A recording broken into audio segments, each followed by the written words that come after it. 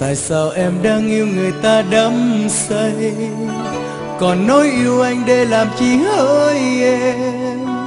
Để bây giờ anh phải mang lại nỗi đau của kẻ thứ ba khi đến sau người ta.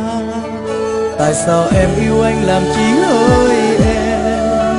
Còn nói ra những câu đầu môi dối gian chắc bởi vì người ta không tốt với em nên em tìm anh để mà làm cuộc chơi, để vơi nỗi sầu. Rồi một ngày em sẽ quên hết nỗi sầu của con tim em, thì em lại quay về với người ta. Chẳng lẽ anh trong em chỉ là người thứ ba?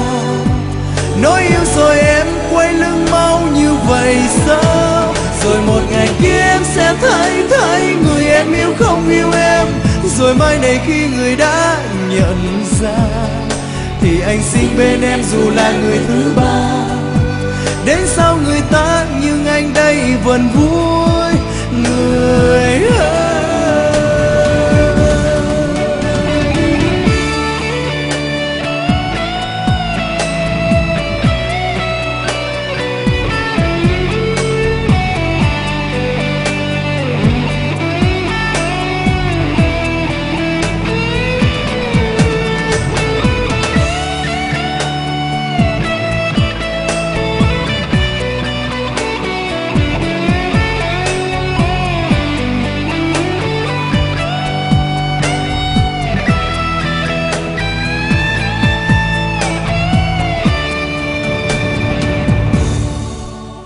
Tại sao em đang yêu người ta đắm say? Còn nói yêu anh để làm chi hỡi em? Để bây giờ anh phải mang lại nỗi đau. Của kẻ thứ ba khi đến sau người ta. Tại sao em yêu anh làm chi hỡi em?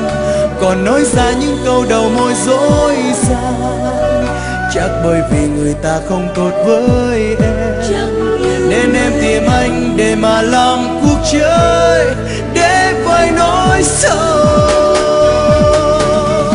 Rồi một ngày em sẽ quên hết nỗi sầu của con tim em, thì em lại quay về với người ta. Chẳng lẽ anh trong em chỉ là người thứ ba? Nói yêu rồi em quay lưng mau như vậy sao? Rồi một ngày kia em sẽ thấy rồi mai này khi người đã nhận ra, thì anh xin bên em dù là người thứ ba.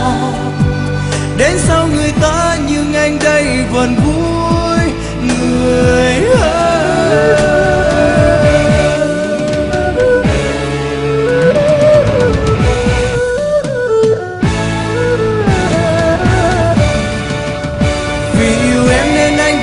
Chờ.